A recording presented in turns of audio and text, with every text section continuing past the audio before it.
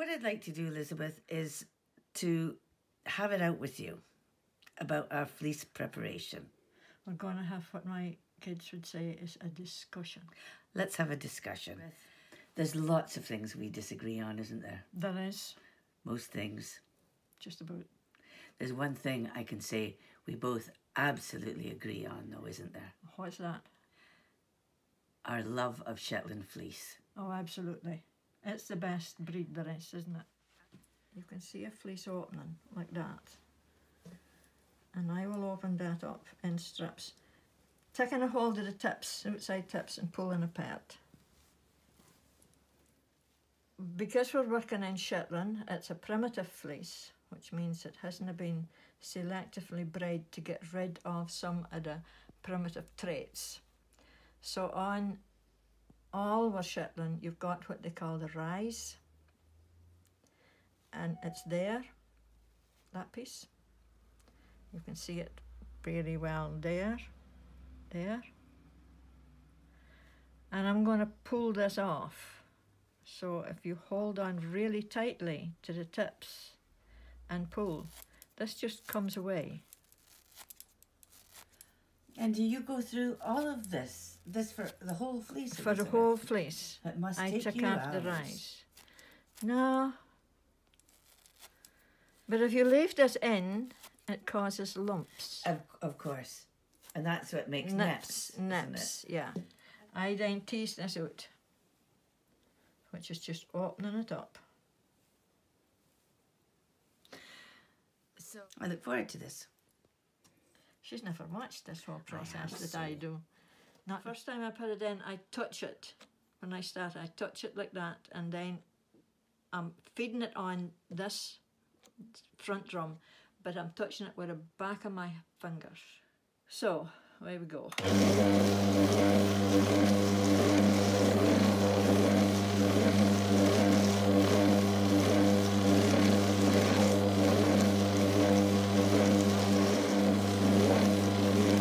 So are you bothering about whether it's tips first or the ends first? No, not at all. It's just going on. Going on.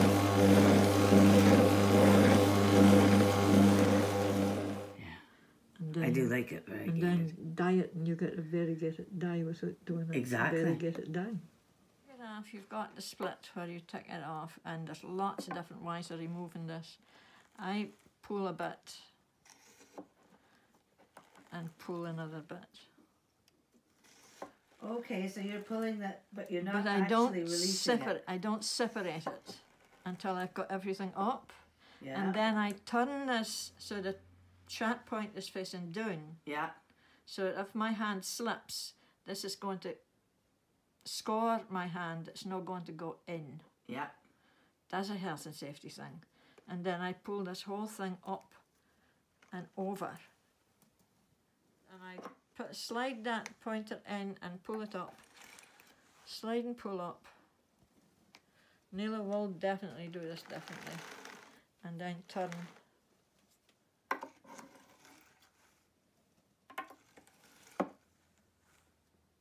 And that's the back off. Uh, so what do you do next, um, Elizabeth? Now that you've got this um, homogenizing bat. Um, this the colours are starting to mix together, but you can see it's a bit of a mess. It's not like a like a, a it's bat. greasy. Of course, it's greasy, cause it's greasy fleece. And then I tasted it and, and I, I tasted it before I came here, and I actually put grease on it. Oh, okay. Is Um, that because it was a bit older? No, no, no, no. I always grease. I always add extra grease. So this, I'm going to add grease again here.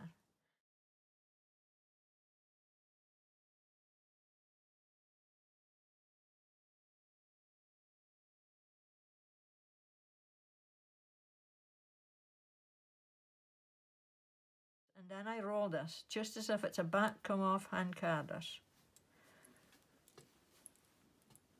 This gets drafted out, ready to go on the next time, the second time.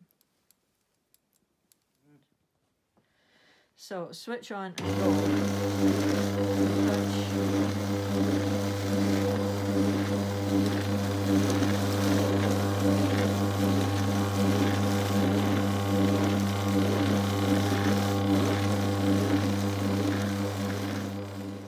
Have two bats. just to see the difference. That's the, the bat the first time it went through, Ah, In a zigzag? Yeah. and young would be really good for making felt. Because it's all the Yeah, whole, yeah, yeah. it's all in layers intertwined. But so for woolen spinning, you don't want something like this. You still want something like this. You still want something like this, yeah. Oh, okay. Uh-huh. So then that is a bat. It's second time round, fading straight, and all the fibres are lying in this direction. Mm-hmm. But you will still um, divide this in, in eight, four or eight, and roll it so you're spinning woolen. Exactly.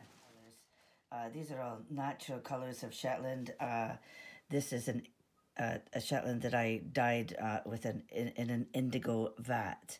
So I thought of just putting together these colors in a gradient, and I will add some additions, exotics as I described them. Here we have uh, kid mohair, tussa silk. Sorry, that's mulberry silk, tussa silk. This is linen, um, carded cocoons, uh, kid mohair locks. That's a linen and silk 50 50 mix.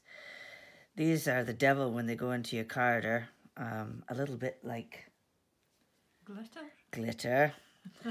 they're hard to get out, but they're uh, quite effective because they make the final yarn a bit more tweedy. So that's a tuss, uh, silk noils. What are you making, Elizabeth? I'm making a pretty pair of mitts. Wrist warmers. But basically, what I'm doing here is sorry, I wasn't doing that right. I'm pulling it out so it forms a long thing. I'm trying not to say worm. I certainly don't want to use the word snake, but you get the idea. So when it gets to a particular length, I then just roll it very loosely. Now, in mine, what I'm going to do is I'm going to card all of the colours separately for the first time through. So I'll start with this. And I go back and forth as well, and I must have got that from you. Because there's no other way, no other reason I would do this. Down a bit. There's either a wallpaper brush or a particular burnishing brush.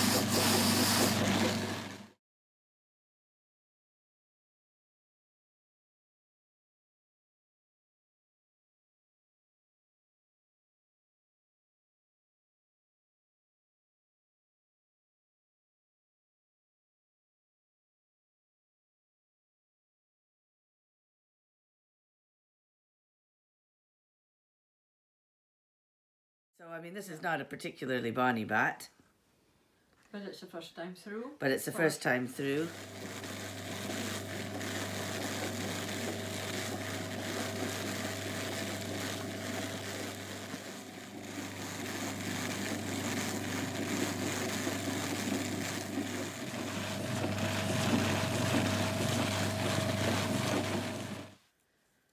Because it was to do whatever they wanted to do. I separate it, but I just go, I don't make it hard for myself. I just go into four lengths. You're drafting it just the same way. So I'm you- drafting it out. You're not rolling. I roll mine first. You're dividing in the opposite direction hmm and then drafting out. So I'm just going to pull out. I try and pull out about a half a staple length.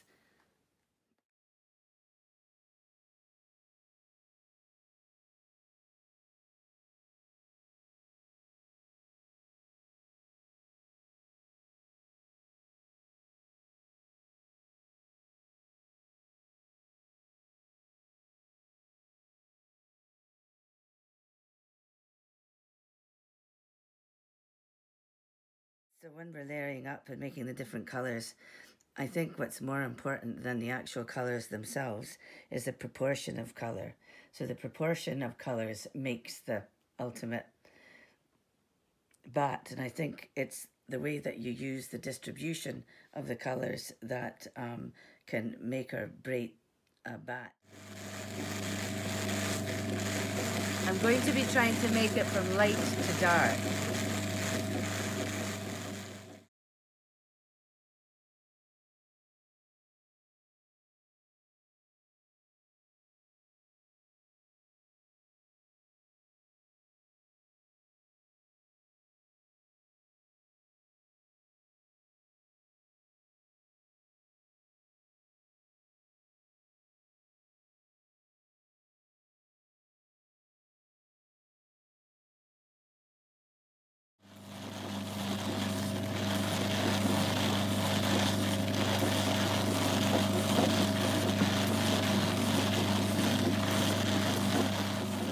See, stopping to look and see how my yarn is building on the teeth because really when it reaches the top of the teeth nothing else can go in so I'm always conscious about that whilst at the same time trying to bail on as much as I possibly can. Tie in so that there's a hint of the indigo throughout the bat here but I want predominantly I think in my head for it to be about here so dark blue grey into fawn to white. This is for the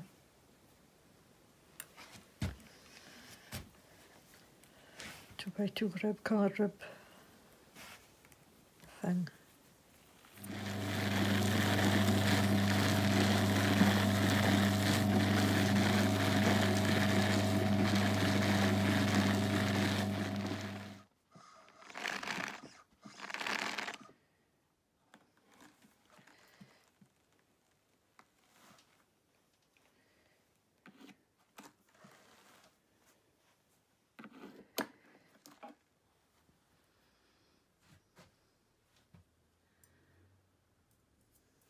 And this silk is, and all the additions is built up throughout the depth of the bat. On the bottom of the bat is just wool because I wanted to lay the base down on the carder. So you'll see how the gradient is going from one colour to the next. So Elizabeth, that's my bat. I do have the most beautiful Shetland yarns in it, but I also have a few exotics. I've put in some gold and this lovely goldy green just to put in tiny, tiny little highlights. Again, about colour being the proportion of colour being key. And of course, you'll work with that in the same way, but when you knit it. When I knit it, yeah. You're doing your design and then your bat. Exactly. I'm doing my designing when I get to the yarn to the needles.